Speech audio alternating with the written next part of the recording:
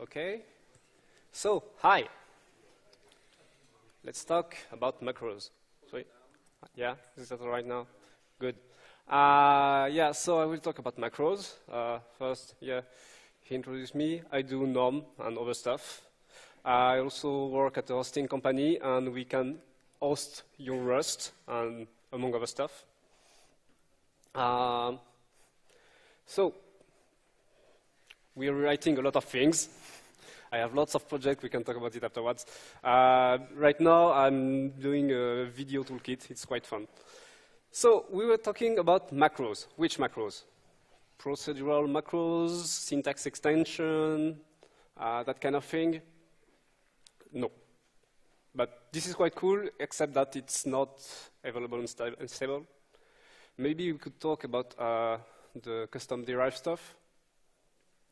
So this is, this is quite interesting. Like, okay, we cannot have compiler plugins that are uh, stable, so let's just do an annotation that will, and you get a function that will receive the code and you write code. Like, basically, you get a string, you, you give a string. And you have a Rust parser that's called syn, uh, that uses nom, a fork of nom that's called synom, uh, to parse Rust code everywhere. So whenever you use that, there are lots of macros as well. But this is still not the point. Uh, I'm basically talking about the declarative macros, like the macro rules and whatever. So why would you use those macros? Uh, I know why, because I can. This is quite annoying. I had a nice effect. So uh, Rust macros are ugly yeah, but they allow some flexibility we don't have basically in the language, like generating a lot of code from some kind of templates. So uh, the kind of thing you can do with macros, uh, you can have one that will generate structures and implementation from just an identifier and some types. Uh, you know, like the, uh, the arrays with a static size, you can do implementation from those. Uh, so there's a feature coming with the associated const and that kind of thing. Uh, or no, it, it's unstable right now. But before, we had to do like uh, macros everywhere. There's stuff like that all, the, all over the place in the standard library, where you have a macro that will go through integers and uh, make the implementation for each size of array or tuple or whatever. It's quite funny to watch. Uh, you can also use macros like println and other ones. They're quite useful. So it's a very common component in Rust, but uh, most people don't really use them. They have a bad reputation, but thankfully there are people like me that really, really like those, so let's take a look. This is a basic macro, like you saw the previous one, like the generate struct. So this is how it could work. Basically, you define the name of the macro, you define a pattern, like what will go into the parentheses in my macro, and then you write the code. Like what the thing that, be, that begins with the, the dollar sign will be like a kind of variable. It will be replaced inside the code. So here we have an ident. It will be a name. The macro expects a kind of name. And we define a struct called with that name make the main implementation to generate a new one. And you can then write that for any name. You have a hello struct, you have a world struct, you have whatever, it will work. Uh, we're not limited to just names like that. We have lots of things available in patterns. Uh, so that was the ident. Uh, you can have a pattern, like uh, you can, do, can have macro that will take some stuff that will be used in pattern matching. You can use types. You can use, um, what's interesting, the expression. I use that a lot. Like the macro ex expects something that will be an expression, so it can be a block, it can be a function call, it can be whatever, anything that will return basically a value. And this is a fundamental difference with like C macros, is they, they're kind of smart about what they expect in the input. So they will check things a bit and make sure the code is, is quite all right. So here we have a macro that's quite simple. Uh, another interesting part is that you can specify different patterns. So like this one, we have the default implementation for something. And well, we have no the, the main one that takes that takes an expression as default uh, default number, and we have one where we can call the macro without the second argument, and it will put zero in, in its place. So you can make macros with lots and lots of different alternatives like that, and uh, basically call them differently. Like you know variadic functions, like that kind of thing. That's the way println and other things work. Uh, an interesting part is the order in which you will declare each alternative is important. So sometimes you will have uh, annoying issues in the way the macros are uh, interpreted, and that's why they're a pain to debug. But we're not there yet. Uh, another interesting part is the macros are hygienic. So, oh, no, wait, there. Um, so basically, here we have an example like we define a variable that's called state, and we pass that to the macro log. It's, it's from the, the main documentation. Uh, and inside the macro, we have another variable called state, and we will use the expression we get in, in agreement. So you can have this. It's really, really useful. Um, like basically macro it will be nicely isolated. Uh, there's still one annoying thing is if you want uh, to do like um, struct, uh, well, method, method calls on structs and stuff, you have to pass self to the macro because self will not be available, that kind of thing. This is the kind of issue. But still, this is quite useful. Like, if you've debugged some C macros, you've seen that like hygiene is just pain in the ass. Uh, to use them, import them, and stuff. Uh, sorry, where, where am I? So, sorry, in my, in my notes are, are slide. Uh, I have, I'm off by one. Should not happen in Rust. Oh yeah, so repetition. So maybe you see like this a dollar parents stuff, parents plus. Maybe we can expect multiple arguments, and so we can apply the pattern multiple times. So this is the, the thing that was used in the array imp uh, before. So here we define the, the clone um, the clone trait for the, the arrays of different sizes. And this is quite small, uh, starting to be a bit harder to read, but it's still doable. I use that kind of thing a lot all over nom. So with that, like you, you have already a lot of tools to, to start and write your own macros. So now you have to expose them. So no, yeah, we're there. Uh, basically, to import macros, from a crate, you use the macro use uh, annotation. You can use macro use with pa parameters to say, I want this specific macro or that specific one. It's not useful most of the time, but still. And you can export macros for a module, etc. Uh, what do we have next? Yeah. So a part that's been very confusing uh, for people, it's been like, how do we declare macro? Do we use the, the, the parents, the, the square brackets, or whatever. And like when I wrote the talk, I was just panicking. Hey, I've always used the same one over and over, and I don't know if they do a different thing. So basically, all those same syntax, they do the same thing. It's just whatever you want. And they will just expand to the same stuff. But there's something interesting uh, you can do is put uh, another layer, because then it will expand to a block. And then inside the block, you will be able to like import stuff, isolate your code, etc. So this is a good technique to, to use in your macros.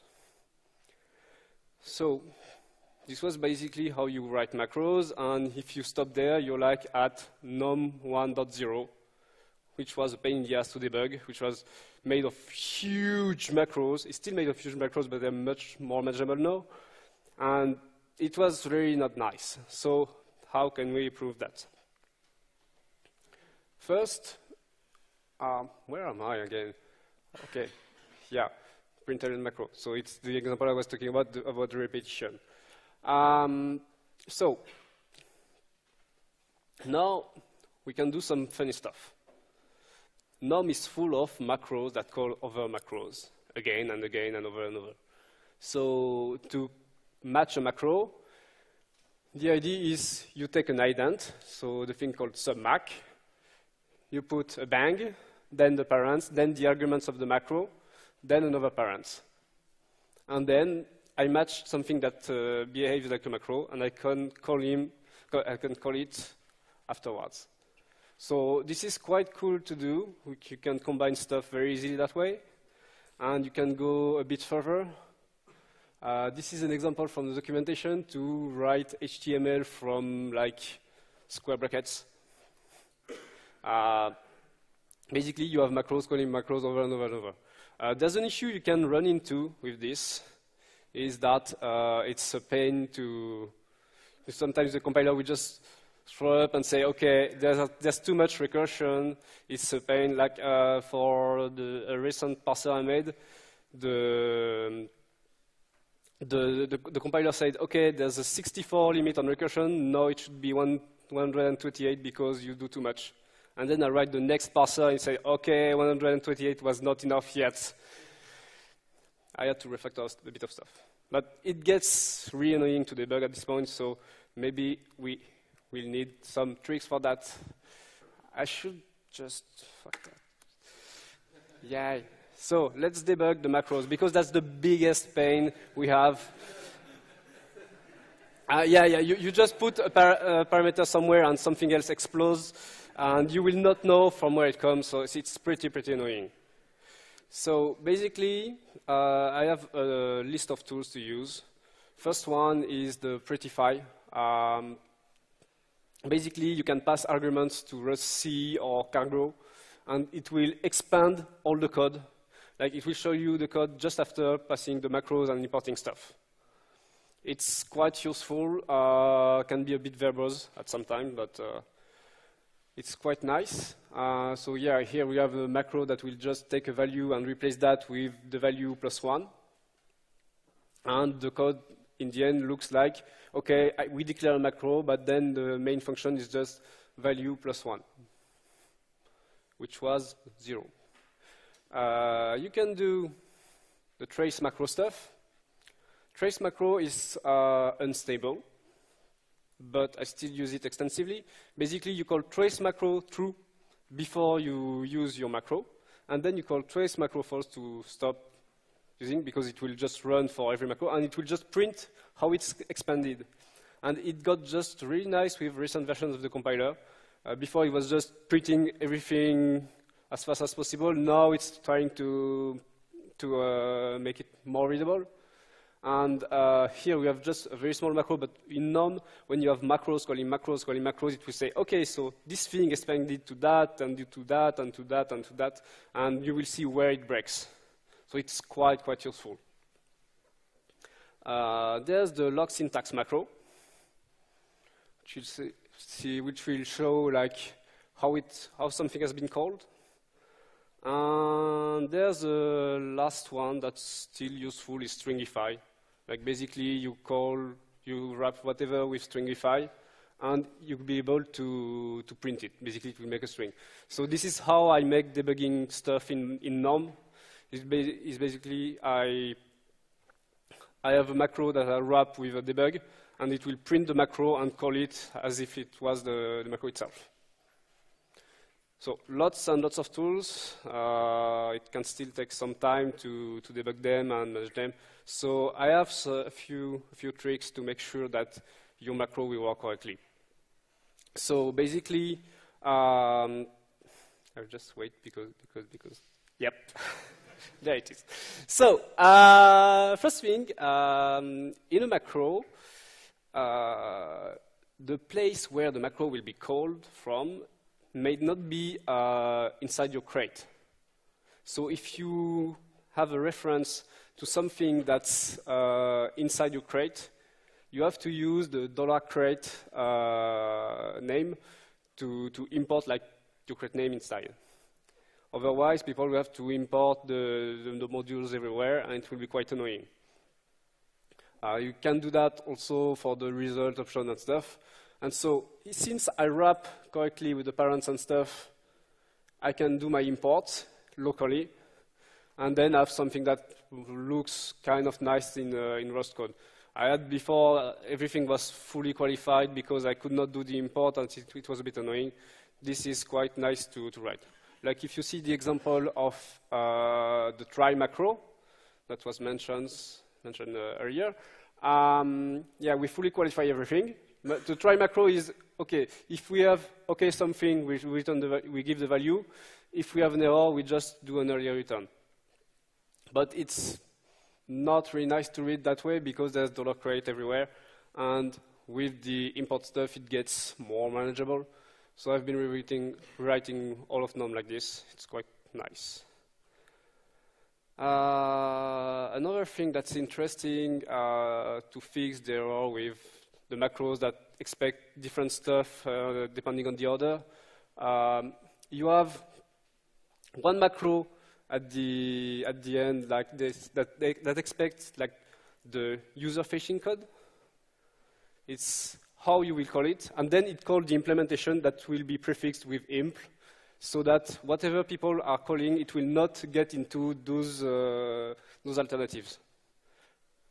So you can make a private part for your macro, but it will not uh, be uh, call, called by, by, people directly. Before, I made like a separate macro for that, but then there were people complaining because they were trying to selectively import macros from NOM, and so like they got the alt macro, and then they, they, they, they, saw they had to also import the alt parser macro and or alt imp or whatever, and it was quite annoying. So you can just fold everything inside one huge macro like that. A very nice trick I really like now, uh, macros will just match patterns. And when you have people that are misusing your macros, usually they will all misuse it the same way. so maybe you can match that pattern and show an error message. and so there was um, a feature that was merged very recently uh, that's available on stable. Compiler error will just show an error message at, the, at compile time. Sorry. So the idea is um, if you match that pattern, you show an error message with the correct syntax. Uh, this will make the code much easier to debug for, for people. Since um, macros are a bit weird to use, this is quite good. So another good one uh, I talked earlier about uh, using stringifier stuff. This is a macro that's used in NOM, where if you get a correct value, it will return the value. But if you get an error, it will print the, the macro that was called and the input with a hex dump. You can do that kind of stuff. Uh, it's quite nice to use. And it's just like reusing uh, components we had before. Like we have stringify, we have uh, we matched a macro and called, called it inside of stringify, but also inside the, the match, uh, match pattern.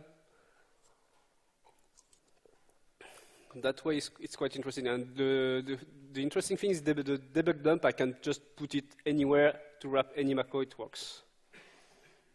Um, concat ident, it's a quite interesting one as well. Uh, might not work for all the use cases you might, you might have in mind, but basically, you have different names, you can concatenate them. Sometimes it's useful, sometimes not. Um, this one is quite fun. Um, basically, uh, basically, I should stop saying basically, it's not basic. Um, the, you have the name, the macro in NOM that's used to generate a function. And you can match on attributes and patterns and stuff and put them on, on, the function and it will work. So you can have documentation that's passed to the macro and will be passed to the, to the function afterwards.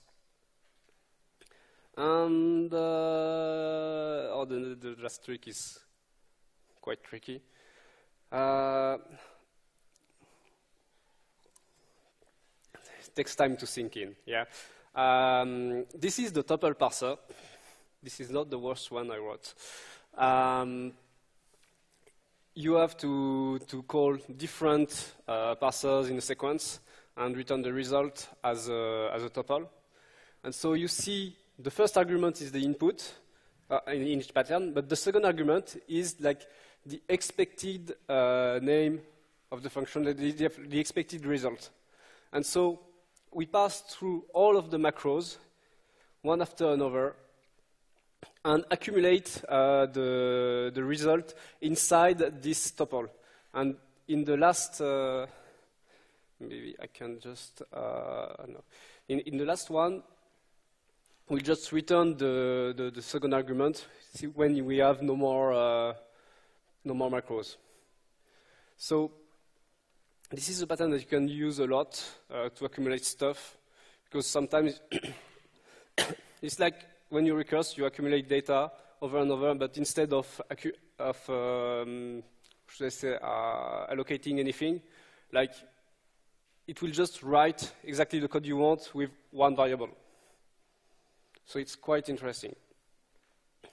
So those were a lot of very weird tricks to write to macro. Uh, basically, you don't have to remember much stuff, just that you can write them so that they're user-friendly. Uh, when you present them to people, they're weird, they're hard to read, so make sure that you can do imports correctly, that you can separate in smaller macros that call each other. It's much more manageable that way. And uh, they're quite fun to write, really. Because you just start writing code, and then it generates a lot of stuff, and it's, it's quite cool in the end. Thank you.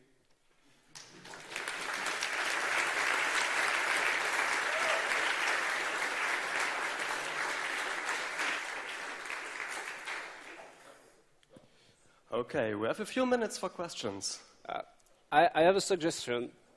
We can do questions, or we can see the weird, the really weird stuff. Ooh.